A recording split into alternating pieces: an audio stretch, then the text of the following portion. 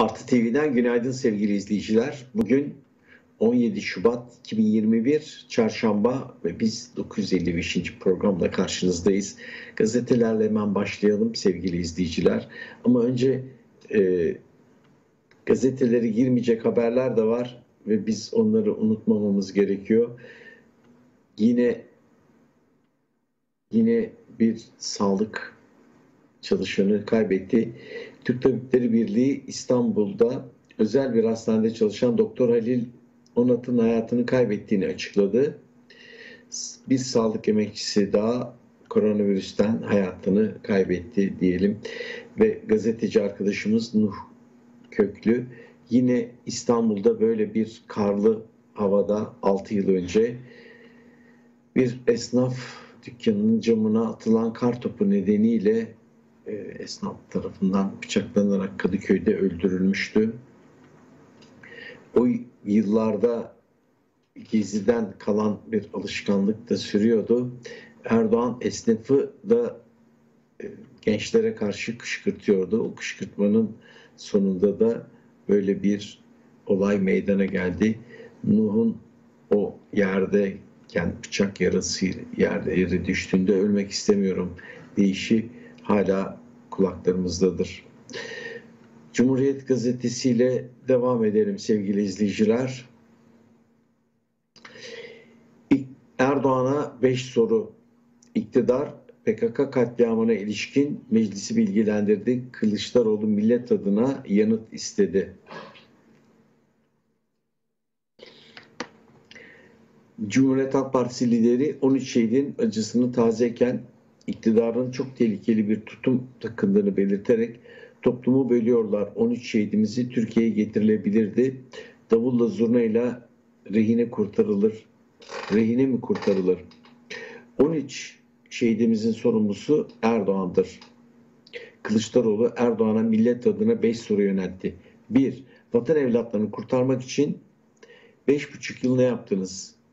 Seçimlerde mektup dilendiğiniz Öcalan'dan neden bir çağrı yapmasını istemediniz? Trump ile dostluğunuzu neden kullanmadınız? 4. İnsan hakları örgütlerini neden devreye sokmadınız? 5. Operasyondaki başarılar, başarısızlığı kim üstlenecek? Bu işin sorumlusu kim dedi. Evet. Dün akşam yorumcumuz Can Dündar'da sormuştu. Bir operasyon düşünün, kurtarma operasyonu ve kurtarmak istediklerinizin tümü ölüyor ve siz diyorsunuz ki başarılıyız. Erdoğan dün Trabzon kongresinde konuştu. Gara düştü, iş bitti dedi. AKP Trabzon kongresindeki konuşmasında Recep Tayyip Erdoğan şehitlere verilen şehitler verilen Gara operasyonuna ilişkin olarak Gara düştü, iş bitti. Fazla konuşmanıza gerek yok yani. Harekatların tehditlerinin yoğun olduğu yerlerden doğru genişleteceğiz dedi.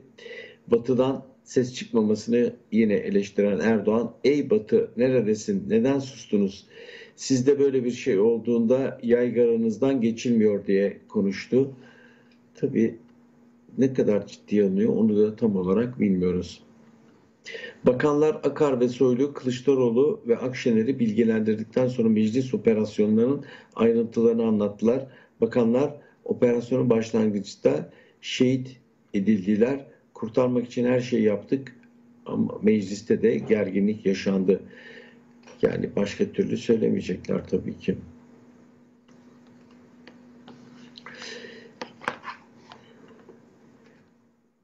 İkinci başlık ise HDP'den sonra sıra CHP'lilerde iktidar Gara'dan yola çıkarak dokunulmazlık dosyalarını indirecek. MHP lideri Devlet Bahçeli Gara katliamını anımsatarak bundan sonra hiçbir şeye eskisi gibi olmayacak dedi. Sözlerinin perde arkasındaki iktidarın HDP'yi kapatmaya yönelik hamlesi bulunuyor. İlk olarak Karma Komisyonu'nda HDP'li milletvekillerinin fezlekilerini öne alacaklar. Dokunulmazlıkların düşürülmesinin ardından teröre destek gerekçesiyle yargılama başlatılacak. Bu süreçte Siyasi partiler yasası değişikliği hızlandırılacak. Yasaya göre terörle iltisaklı partiler ibaresinin konulması planlanıyor. Sonra da CHP'li vekillerin fezlekeleri gündeme gelecek. Selda Güneysu'nun haberi. Kanıt gösterildi. ABD teyit etti. Şartlı kınama krizinde geri adım atıldı. Milli Savunma Bakanlığı'na çağrılan ABD Büyükelçisi Shutterfield 13 görevliyi terör örgütünün şehit ettiğine dair fotoğraflar, adli tıp raporları sunuldu. ABD Eğerli kınamasında geri adım attı ve PKK'yı sorumlu tuttu. ABD ile Türkiye ayrı telden çaldığını ABD Dışişleri Bakanı Baylik'in Türk ve Yunan Dışişleri Bakanlarıyla yaptığı telefon görüşmeleri de ortaya koydu. Atina işbirliğini Ankara'nın S-400 mesajı verdi. Ailelerin sesini duyan olmadı. 13 şehidin yakınları meclise kadar gelmişler. Gara'da rehin tutulan görevli yakınları 6 yıllık mücadeleleri gündeme geldi. Aileler 2017'de Türkiye Büyük Millet Meclisi'nde basın toplantısı düzenlediklerini hatırlatan CHP'li Ağbaba PKK PKK'nın katlettiği evlatlarımızın anaları yıllardır seslerini duyurmaya çalışıyordu. Yüzlerini tüm kapılar kapatıldı. Çuvalla para götürdü.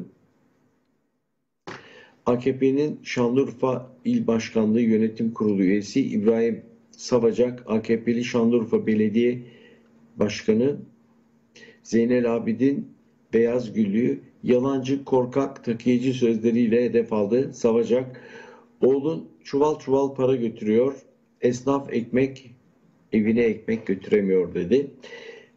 Dün Trabzon'da AKP'nin kongresi vardı ve Cumhuriyet Gazetesi buradaki ince noktayı görmemiş bugün yoğunluktan olsa gerek. Erdoğan mevcut başkanı şu anda seçilecek başkanı aday göstermişti. Onun dışında bir aday daha vardı Metin Akın. O onun basın toplantısı yapmasına vali izin vermedi. Seçimden bir gece önce de kendisi gözaltına alındı. AKP demokrasisi böyle. Önce sus, uyarı, olmazsa direkt içeri gözaltı, hapis tutuklama falan vermediler. Tabii kongre bittiği için artık iş işten geçti. Ama siyasi rakipseniz, sivri dilli gazeteciyseniz, sivil toplumcusunuz o zaman Erdoğan'ın kini ve e, direktifleri de bitmiyor. Sevgili izleyiciler, bütün gazetelerde göreceğiz. Türkiye'nin güler yüzü. Tuncer Cücenoğlu yaşamını yitirdi. Psikolog, yazar. Doğan Cücenoğlu Beşiktaş'taki evinde ölü bulundu. 83 yaşındaki yazarın cansız bedeni alışverişten dönen işi buldu. İşi değil, temizlik görevlisi buldu ve emniyetin yaptığı e, açıklamada düşme sırasında başını vurduğu için hayatını kaybetti e, Cücenoğlu Hoca.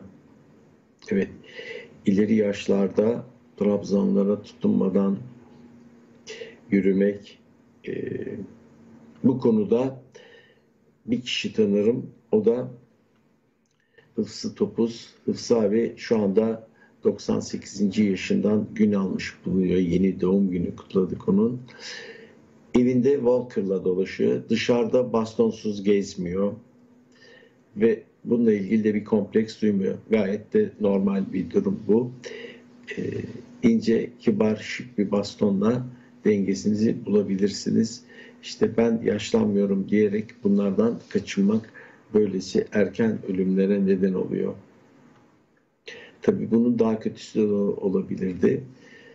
Tuncer Hoca tüm vücudunu e, felç eden bir e, omurilik e, kırılmasıyla, ezilmesiyle bundan sonra yatağa bağlı olarak devam edebilirdi. Bu da tabii kolay değil. Yaş ortalaması düştü. Mutasyon sonrası yoğun bakım alarmı 40-50 yaş hastalar arttı. Türk Tabipleri Birliği Genel Sekreteri Bulut. Sahadan gelen veriler yoğun bakımda yaş grubunun düştüğünü gösteriyor. Gençlerde mutasyon hastalığına neden olma yeteneği mi arttı? 40-50 yaşlarında ölümlerin olduğunu görüyoruz dedi.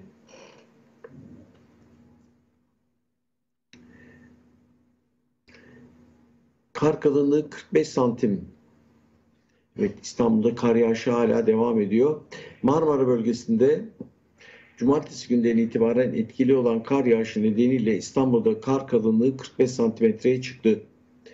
Ağaçlarda biriken karın ağırlığı, ağaçlar biriken karın ağırlığıyla devrildi. O kadar kötücü. Ağaçlar devrildi de kar yüzünden. Balıkesir Bursa yolunda araç kuyruğu 30 kilometreye kadar ulaştı. Cumhuriyet'in bir diğer haberi mobbing çok yaygın. 10 özel şirkette bine yakın çalışanda bir araştırma yapıldı. Her 4 kadından biri, her 4 erkekten ise 3'ü mobbinge maruz kaldığını görüldü. Kadınlar yönetici, erkekler ise arkadaş mağduru diyor haberde. Evet evrensele geçelim. Evrensel'in sür manşetinde asgari değil insanca yaşam için grevdeyiz. Kadıköy Belediyesi greve çıktı sevgili izleyiciler. Kadıköy Belediye çalışanları tabii ki. İstanbul Kadıköy Belediyesi'nde yürütülen toplu sözleşme görüşmelerinde belediyenin düşük zam dayatmasına karşı genel iş üyesi 2300 işçi greve çıktı. İşçiler sefaret zammı istemiyoruz. Asgari iş, e, askeri değiş, e, insanca bir yaşam için grevdeyiz. Askeri değil olacak herhalde. Cumhuriyet Halk Parti belediyelerinin kurduğu Sosyal Demokrat Kamu İşverenleri Sendikası işçilerin greve çıkmasıyla diğer belediyelerde yürütülen toplu iş sözleşmelerini durdurdu. İşçiler bizim mücadelemiz diğer belediyedeki arkadaşlarımıza da örnek olacak dedi. Patron yerine geldiğiniz zaman işler biraz değişiyor. Ve bir Kod 19 haberi de Gaziantep'te Kod 19'dan işten atılan işçiler direniş başlattılar. Ahlaki nedenler diyorlar ya utanmazlar, ahlaksızlığı yapanlar kendileri bu koşullarda işçi atmayı ahlaki nedenlere bağlayıp bunu da AKP çıkarttı. Ahlaki nedenleri bağlayıp kıdem tazminatını üstüne oturuyorlar. Üstelik de üzerine de bir leke atıyorlar işten atılan. Ahlaki ne deyince geniş bir kavram geliyor. Ahlaki neden bu koşullarda işçiyi işten atmak ahlaksızlıktır esas. Dikkat çekilmesi gereken konu budur. Ve böylece de bir kez daha görüyor ki işçiler ve işverenler hiçbir zaman aynı gemide değiller. Hiçbir zaman. Evrensel'in başlığı, başlığı operasyon muhalefete yöneldi diyor. Dün de benim Twitter paylaşımım dün sabah böyleydi. Gara operasyonu esas hedefine yöneldi. Önceki gece paylaşmıştım bunu. Evrensel de aynı şeyde, aynı bakış açısıyla. Gara operasyonda iç siyaset yansımasını Profesör Doktor Mesut Yeğen değerlendirdi. Amaçlanan sonuç büyük ihtimalle alınan sonuçtan farklıydı. Şimdi yapılanlar daha farklı, e, yapılanlar da belli ki iki şeyi hali e, hedefliyorlar. Amaç ve sonuç arasındaki farkın tartışmasını engellemek. Oluşan infial duygusu HDP'yi muhalefetin kalan kısmından izole etmek için kullanmak dedi Mesut Yeğen Hocam. Rehin kurtarmada başarısız olan Gara operasyonu içerisinde muhalefeti ezme operasyonuna dönüştürüldü. Muhalefet partileri aydınlarla iktidardakiler aykırı görüş açıklayan herkes hedefe konuluyor iktidar ortağı Bahçeli'den HDP hemen kapatılmalı dedi. Aslında Devlet Bahçeli'nin ağzının kapatılması kapatsa hem partisi için hem Türkiye için daha iyi olacak. Soylu'nun hedefe koyduğu İnsan Hakları Derneği yapılması gereken ciddi bir öz eleştiridir dedi. Bir bakanın böyle söylemesi inanılmaz. insanlar can insanların canını korumakla görevli olan bir bakanlığın bir kurumun en üstündeki kişi e, Soylu İnsan Hakları Derneği için geberesice diye açıklama yaptı. İnsan Hakları Derneği eş genel başkanı Öztürk Türkdoğan yapılması gereken ciddi bir öz eleştiridir. Bizim gibi kurumları yıpratmak hiçbir işe yaramaz dedi. 1992 yılında iyi hatırlıyorum emniyet e, polis okullarında insan hakları dersi koymuşlardı. Bu dersin sonuçları şöyle oldu. İki polisin öldürülmesinin ardından polisler Dolmabahçe'den Karaköy'e kadar kahrolsun insan hakları diye yürüdüler. Ve bunu da dönemin bakanı Mehmet Ağar e, İçişleri Bakanı'ydı. Onun örgütlediği, onun bir fikri oldu. Sonradan yazıldı. Şimdi böyle şeyler yazılamıyor da. Evrensel'in manşeti e, böylece okuduk. İkinci başlığı asıl sorun elimizde yeterince aşı olmaması. Toplumun %67'si bağışıklık kazanmalı dedi. Tabipler Birliği'nin düzenlediği aşı hakkında merak ettikleriniz adlı online panelde konuşan Profesör Doktor Kayan Pala toplumun %67'sinin hastalığa karşı bağışık hale getirilmesi virüsün salgın yapma özelliğini yitireceğini söyledi. Pala asıl e, aşılar kamu malı olmalı dedim. Mutasyonlu virüse etkisi ise bilinmiyor. Hacettepe Üniversitesi'nden Profesör Murat Akova ise virüsün sürekli mutasyon geçirdiği için önümüzdeki aylarda ciddi sıkıntılar çıkabileceğini belirtti Akova. Türkiye'de uygulanan Coronavac aşısı mutasyon geçiren virüse karşı etkisini bilmiyoruz dedi. Eksi 6 derecede kayyum protestosu Boğaziçi Üniversitesi'nde akademisyenler rektörlüğe sırtını dönerek nöbete devam ediyorlar. Üstelik de eksi 6 derecede.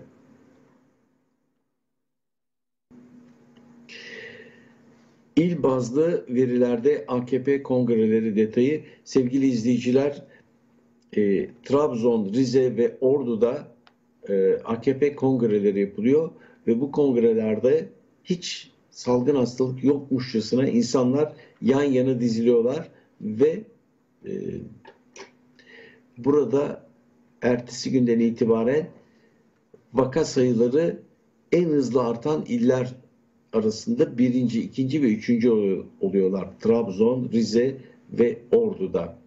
Erdoğan da diyor ki ne mutlu bize bu kadar salgın hastalık varken bu kadar güçlü toplanabiliyoruz. Abi bunda ne var ki çağırdı mı geliyorlar zaten. Ayrıca insanlar bir araya gelmek için sadece neden bekliyorlar? Bir futbol maçını açın türbinleri bakın nasıl dolacak. Ama bunun sorumsuzluğunu kim üstlenecek? Bütün sorun orada. Bir güne geçelim sevgili izleyiciler. Bir günün bugün manşetinde ölümlerin sorumlusu saraydır. Evet işte boğayı boynuzlarından yakalamak budur.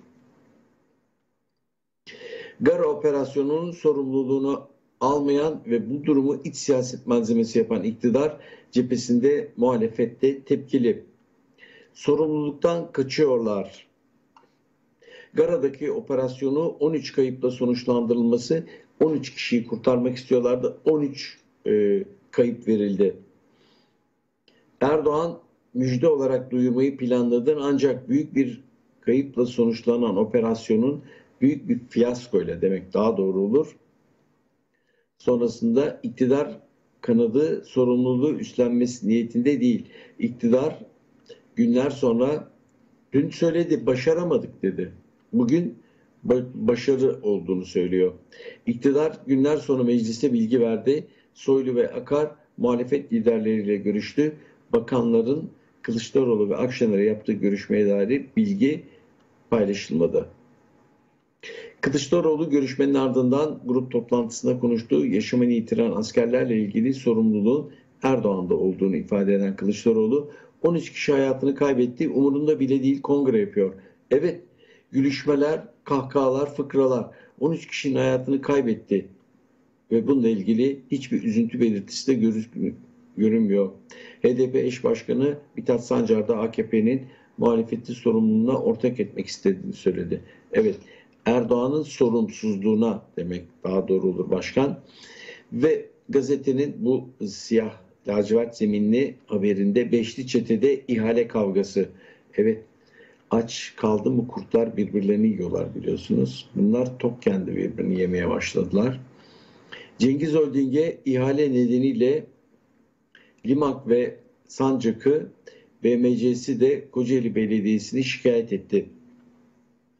Kamuoyunda beşli çete olarak bilinen şirketler ihale kavgası başladı. Cengiz Holding'in çoğu ihalede partneri olan Limak'ı Hatay Büyükşehir Belediyesi'ndeki ihale nedeniyle şikayet etti. Limak ihaleden elendi. Erdoğan'ı gördükçe aşık e, Erdoğan'ı gördükçe aşık oldum diyen eski AKP MYK üyesi Ethem Sancak'ın BMC'si AKP'li Kocaeli Belediyesi'nin alamadığı otobüs ihalesi nedeniyle kamu ihale kurumuna başvurdu. İhaleyi Karsan kazanmıştı. Evet. Azalmaya başlayınca o zaman işte birbirlerinin kuyruklarını kulaklarını ısırmaya başlıyorlar. Tavın 5 havalimanı için kira erteleme. Devlet Hava Meydanları işletmesi tam limanlarını Limanları Holding, Antalya, Ankara, Alanya, İzmir ve Milas Hava Limanları'nın işletme hakkını iki uzatırken kira ödemelerini de erteledi. Eğer siz bir şirket sahibiyseniz pandemi koşullarında da evet pandemi koşullarında da size devlet her türlü yardımı yapabiliyor. Şimdi fotoğraflı habere gelelim. Biraz önce okudum. Lebalep şovlar vakaları patlattı.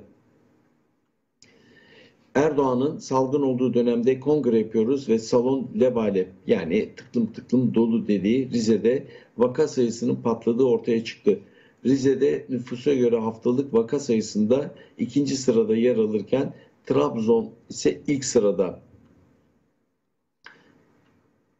Covid-19'da mücadelede en ön sırada yer alan ve ağır şartlar altında çalışan hekimlere oldukça yıprandı. Oldukça kelimesi çok gereksiz burada. Hekimler yıprandı yeterli. Sağlık Bakanı Koca 7 ayda 2412 hekimin istifa ettiğini açıkladı. Koca hekimin rapor aldığı sorusuna da yanıtlamadı. Kaç hekimin rapor aldığı sorusuna da yanıtlamadı. Ayrıca Rize ile ilgili bir başka bilgi vereyim. Bizim her sabah Rize'den sesimiz olan Genca Karafazlı'nın Rize Nabız gazetesindeki haberine göre de Güneysu ilçesinde belediye başkanı Erdoğan'la görüşmüştü. Belediye başkanı pozitif çıktı. Belediye karantinaya alındı. Aynı zamanda kaymakamlık da izolasyon içinde bulunuyor. Ee, nasıl gelişecek onu da tam olarak bilmiyoruz. Sadece Erdoğan mutlu ama. İtfaiye ödeneği Kur'an kursuna gitti. Kayyum yönetimindeki Diyarbakır Büyükşehir Belediyesi itfaiye bütçesini Kur'an kursu projesine aktarmayı sürdürüyor. Kahretsin sizi.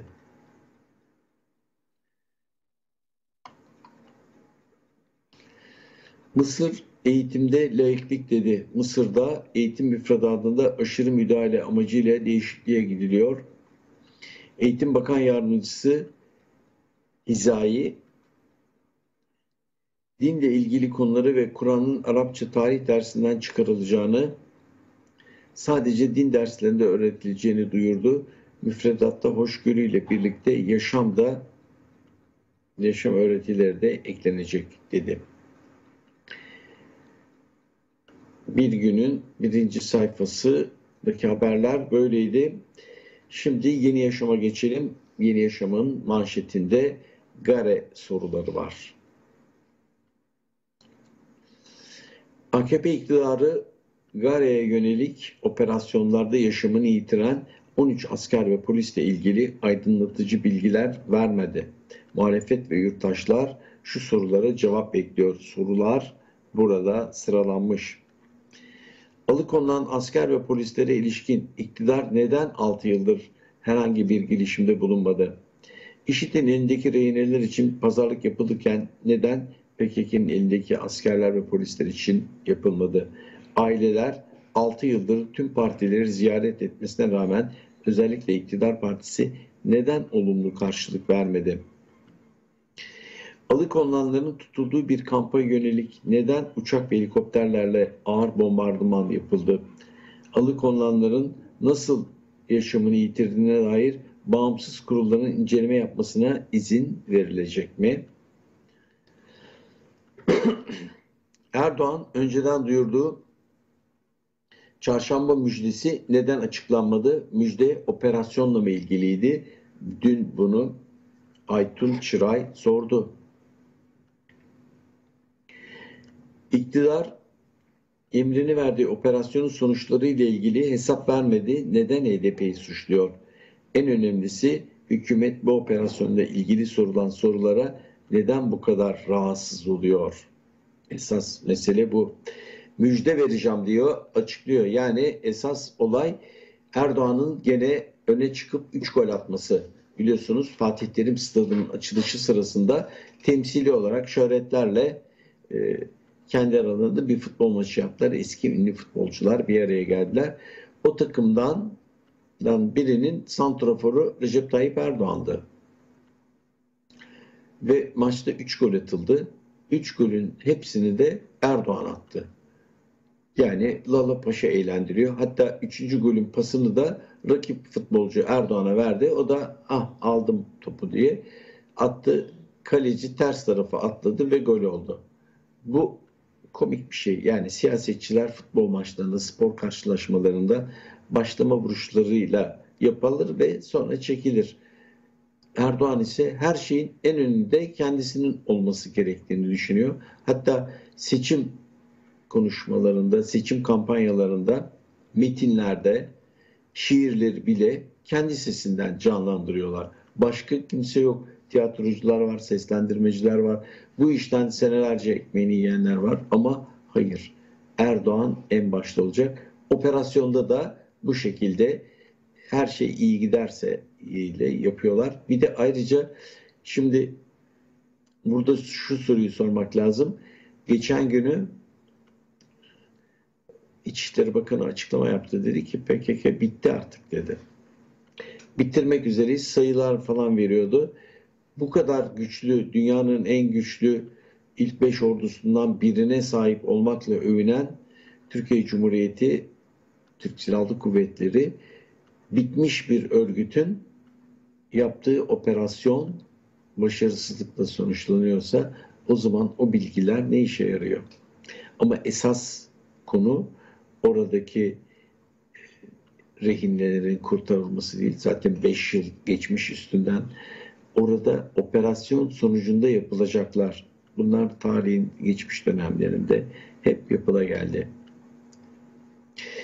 Ve çaresizlik içerisinde bunu, bu iktidarla muhatap olmak gerçekten çok zor.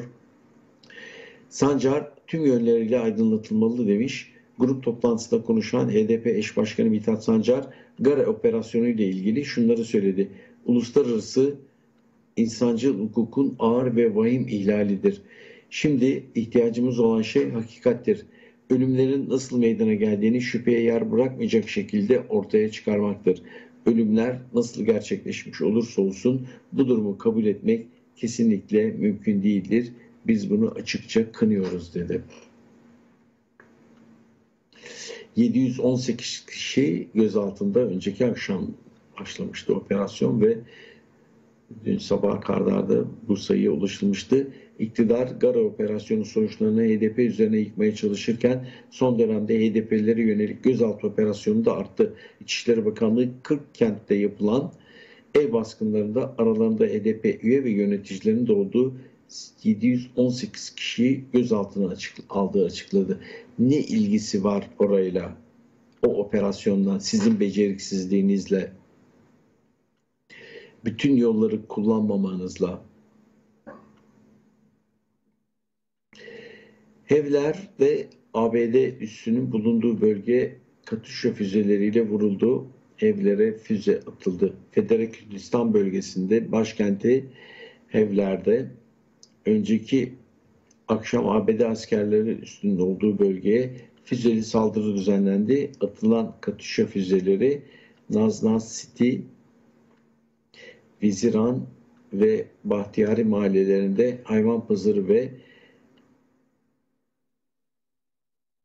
evler uluslararası havalimanına isabet etti. Füzelerden biri Çin'in Erbil Başkonsolosluğu yakınlarında düştü. Saldırı nedeniyle havaalanında uçuşlar durduruldu. Ve Kadıköy Belediyesi'ndeki grev haberi de fotoğraflı olarak verilmiş. Kadıköy Belediyesi'nde grev ateşi yakıldı. 2300 işçi greve çıktı Kadıköy'de. Hizmetler aksayacak. Bu onu gösteriyor.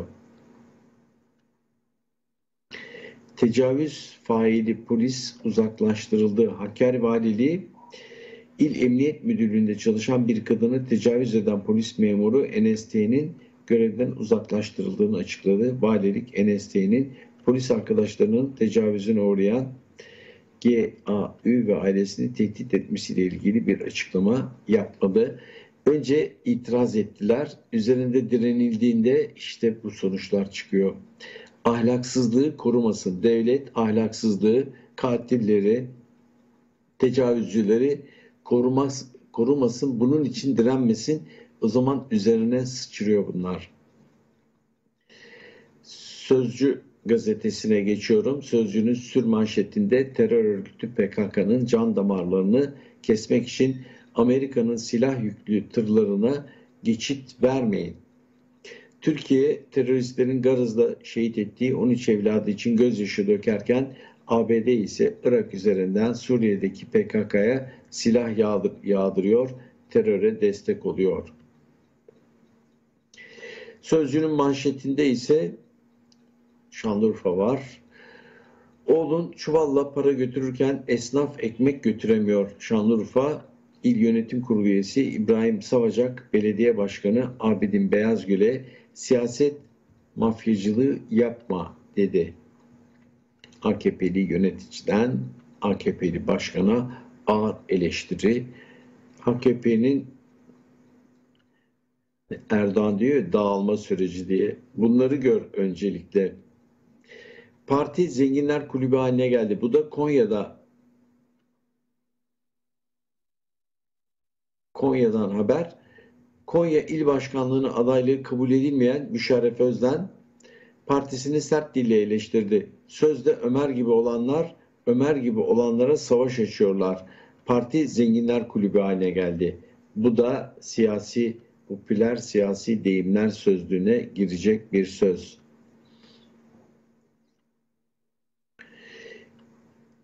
Çürük gıda kuyruğu dün de vardı bu. Vatandaş ucuz diye her türlü gıdayı alıyor. İstanbul'da vatandaşlar bir derneğin önünde kurulan pazarda son kullanma tarihi gelen ürünleri kapışıyorlar.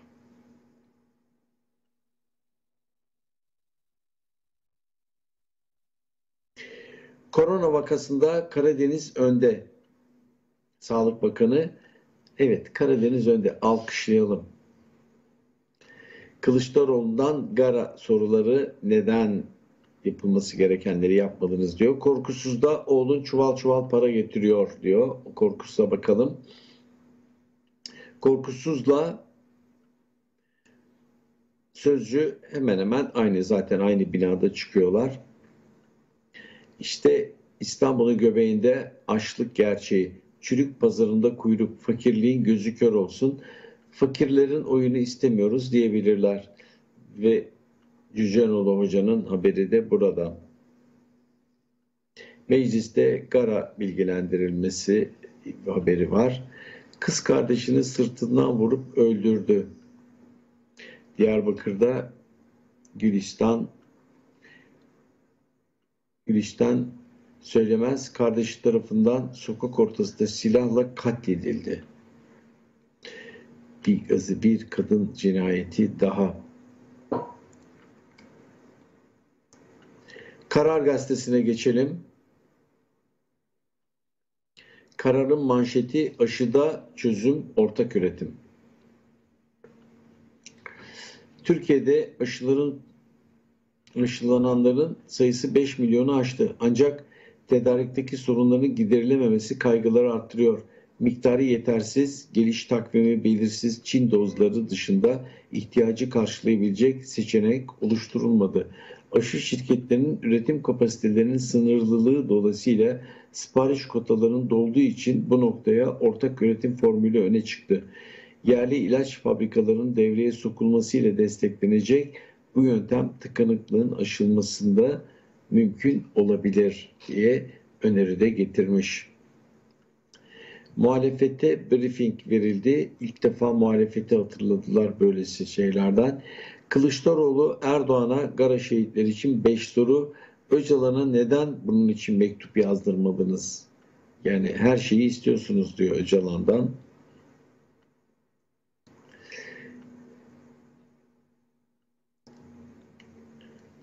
Devlet milletin parasıyla gösteriş yapamaz.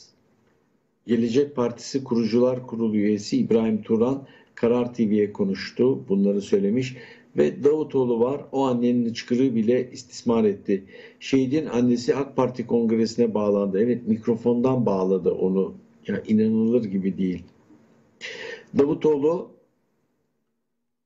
Gara Harekatı ile ilgili zihnimizde çok haklı sorular olmasına rağmen bunları hiç atıfta bulunmadık. Biz bu hassasiyeti gösterirken Cumhurbaşkanı'nın kongrelere devam etti. En acısı ise bir annenin hıçkırıklarını aldırmadan şehit sayısında şehit acısını siyasi propagandaya alet etmesiydi. Ey ehli vicdan artık ayağa kalk. Milli, dini, manevi değerlerimizin istismarı karşısında vicdanların ayağa kalkması gerekiyor dedi e, Ahmet Davutoğlu gerçekten de yani kahretsin denilecek yerde kadın evladını kaybetmiş. Şu adam şeyden kongreden kürsüden arıyor. Neden arıyor bunu? Bakın ben şehitlerin ailelerini arıyorum. Ne mutlu sana oğlun şehit oldu gibi şeyler de söylüyor. Şimdi Erdoğan'ın e, bu uygun olmayan hareketleri e, etrafında doğru dürüst insanların kalmamasıyla da ilgili herhalde. Kimse ona bir şey söylemiyor. Bunu yapmayalım demiyor. İşte eskiden mesela Davutoğlu vardı herhalde bunu söylüyordu. Bu kadarını yapmayalım diyebiliyordu. Şimdi e, bir video izleteceğim size. Arkadaşlarımız hazırladılar. Erdoğan önceki akşam Yunus Emre konuşması yapıyordu ve orada sosyal medyanın e, nasıl zararları olduğunu oraya ilişkin eleştirilerde bulunuyordu. Fakat şöyle bir şey var. Bu konuşmanın tamamını Binali Yıldırım bundan 4-5 yıl önce 2017'de yapmış. 4 yıl önce yapmış bu konuşmayı. Metin birebir aynı. Demek ki artık şeyde e, metin yazacak, doğru dürüst metin yazacak kimse kalmamış AKP'de. Koskoca anlı iletişim daire başkanlığı ki kadrosu da çok kalabalık oturup bir metin yazmak yerine aynı metni oraya koymuşlar. Nitelikleri bu. İzleyelim bakın çift sesli bir konuşma. Dikkatle izleyelim göreceksiniz bunu.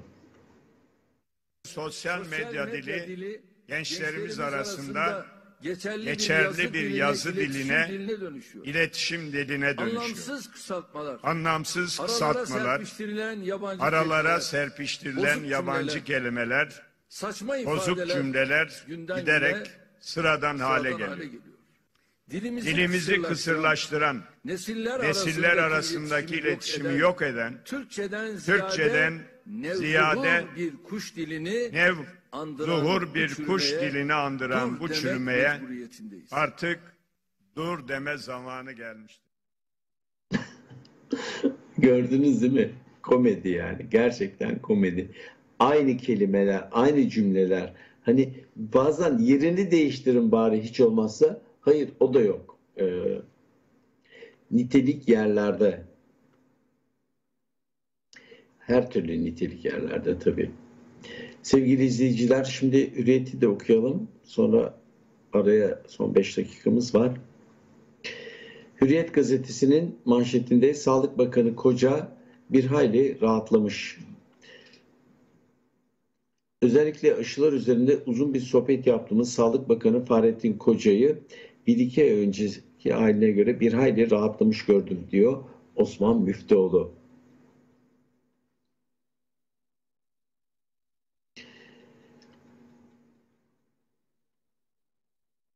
Başka manşette ise Gara'da ne oldu ziyaretleri katliamın fotoğraflarını gösterdiler. Milli Savunma Bakanı Akar ile İçişleri Bakanı Soylu, CHP lideri Kılıçdaroğlu ve İyi Parti lideri Akşener'i ziyaret edip Gara'da yaşananlar hakkında bilgi verdi.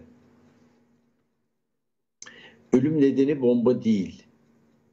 Ama çok paniklediler. Onlar da sordu mu acaba Gara'da sizin karşınızda HDP'li ilçe başkanları falan mı çıkmıştı da dönüşte onları bu başarısızlıktan sonra onları tutukladınız diye sormaları lazım. Muhalefet için e, sınav günleri. İki bakan ilk olarak Kılıçdaroğlu'nu ziyaret etti. Ziyarette CHP'den Genel Başkan Yardımcısı Faik Öztürk ve Grup Başkan Vekili Özgür Özel de girdi. Bakanlar 13 kişinin Türk Silahlı Kuvvetleri bombaları ile değil teröristler tarafından ateş edilerek öldürüldüğünü ortaya koyan fotoğraflarını, otopsi raporlarını Kılıçdaroğlu'na gösterdi. Kılıçdaroğlu bakanlara neden bunca zaman beklendi 2015'ten beri ne yaptınız sorularını sorduğu belirtildi. Akar ve Soylu daha sonra Akşener'i ziyaret etti. Katliamı terör örgütünün yaptığını gösteren fotoğraf ve otopsi raporlarını Akşener'de gösterdiler. Akşener görüşmelerde kurmaylarınca kimse, kurmaylarından kimseyi almadı demiş. Dakika dakika tüm operasyonu anlattılar diyor. Peki soru esas soru şu 5 yıldır neredeydiniz? Buna cevap verebiliyor musunuz? 5 yılda ilgili neler yaptınız? Dün mecliste yaptık ettik diye konuştu ama aileler bunu teyit etmiyorlar.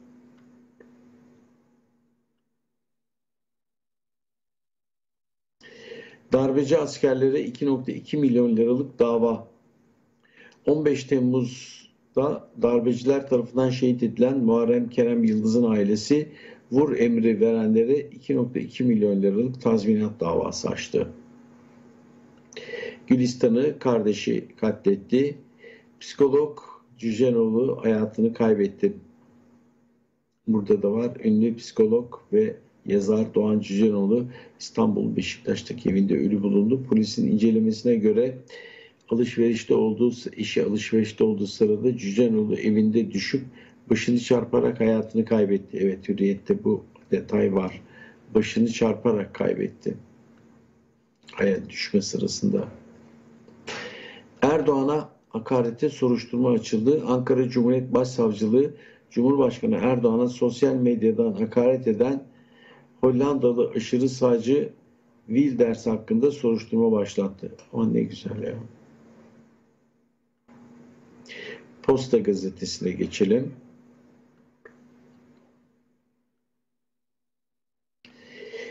Peki siz ne yapıyordunuz? Sağlık çalışanları karda, ayazda zorlu yolları aşarak halkı aşılamak için çabalıyor. Dünya onları alkışlıyor. Peki siz ne yapıyorsunuz? Hollanda televizyonu Van Gevaş ilçesinde Van Gevaş ilçesinde insanüstü bir çabayla COVID-19 aşılama çalışmasını yapan sağlık ekiplerinin hikayesini yayınlayıp övgüler yağdırdı. Türkiye'de ise özellikle Karadeniz bölgesinde vaka sayılarının artmasında cenaze, taziye ve ev ziyaretlerinin sebep olduğu ortaya çıktı. Bir de parti kongreleri tabii ki sen binlerce kişiyi bir salona toplarsan ve saatlerce orada aynı havayı solutursan bu çünkü temastan ziyade e, solunum ortamıyla geçiyor bu hastalık. Bunu sağlık kurulu Cumhurbaşkanı bir briefing verip anlatması lazım. Yapmayın efendim böyle şeyler. Hatta açıklaması yapması da lazım. Söylemekle olmuyor bunu. Yani sadece muhalif söylem diye geliyor. Muhalifle falan ilgisi yok akılla ilgisi var bunun. Evet sevgili izleyiciler birinci bölümün sonuna geldik. Şimdi kısa bir ara saat başında Levent Güzel bizimle olacak. Ee, daha sonra da genç bir yazar arkadaşımız Nur Öztürk ilk ilk kitabıyla bizlerle birlikte olacak. Kısa bir ara saat başında karşınızdayız.